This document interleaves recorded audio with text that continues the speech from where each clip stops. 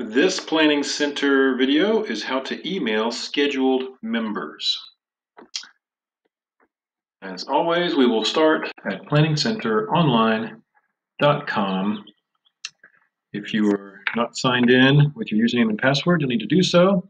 When your dashboard comes up, scroll down to select a date. I'm going to select May 10th.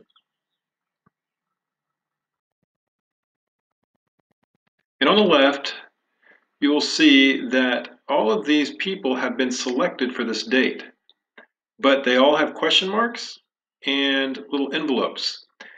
Uh, the question mark means you don't know about them. And think of the envelope as uh, mail that you forgot and left on your desk and it needs to go in the mailbox.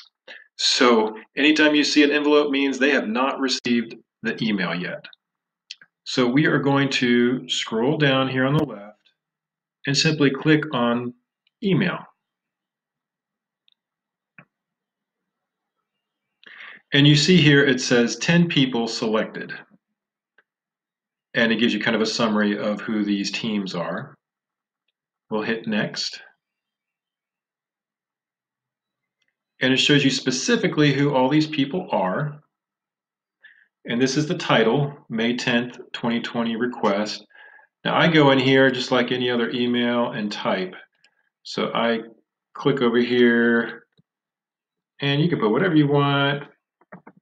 I often just put hi team. Then the basic you have been selected. This is already on there.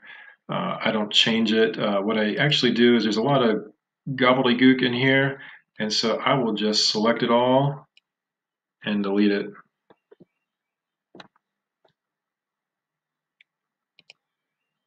And then all you got to do is hit send.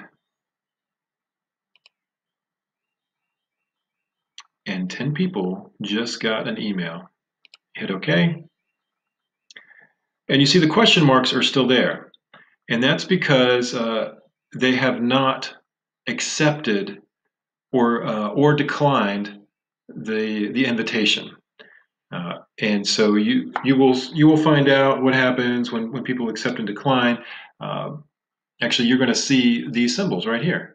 You're going to see a little green check if they get the email and they accept it, or if they decline it for whatever reason, you're going to get an email and the red uh, box with the X.